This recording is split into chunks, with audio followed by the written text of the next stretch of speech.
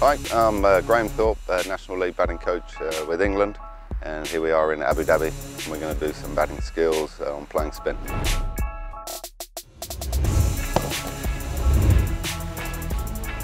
The first part of playing spin for me would be in terms of developing a flow, would be making sure that they learn how to pick length and play it from the right place.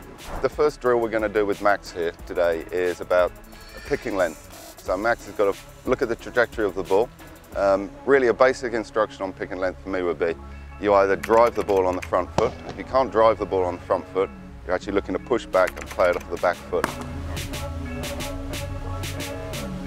The key to playing spin is to be able to create time to play the shot.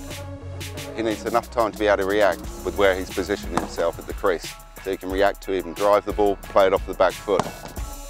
When you're younger, you're often taught growing up, just play with the spin, which is a good um, starting point to play with the spin. But as you develop and you progress, you want to be able to maneuver the field around as well as a batsman. So to be able to hit with the spin and against the spin is important uh, as you develop your game.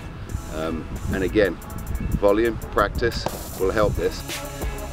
So we're just going to do a drill with Max now where I might throw three balls, three off spinners, where he's going to be able to hit the ball onto the offside, three balls where he's going to hit the ball onto the leg side. And again, he's either going to be able to do that from being on the front foot or the back foot. And again, that brings in having to pick length and play it from the right place.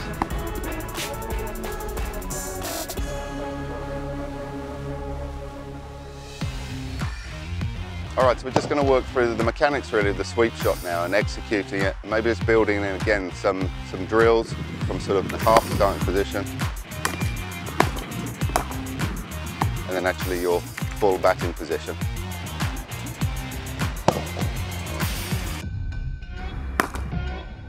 So now having done those two drills, now going to just go back to normal bowling.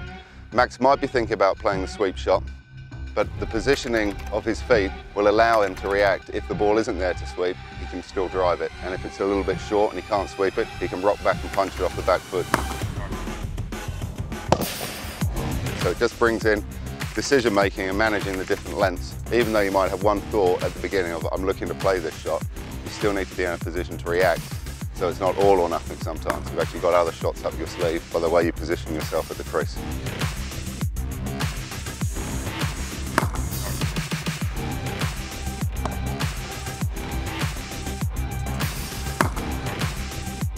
Okay, thanks to Max today for helping out with those spin drills today.